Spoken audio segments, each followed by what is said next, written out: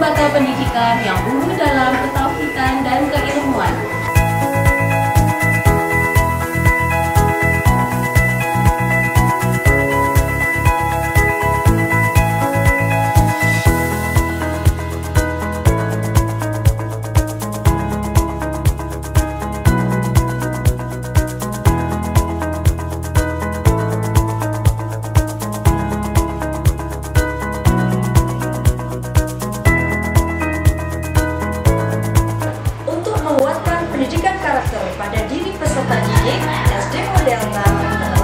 Fernando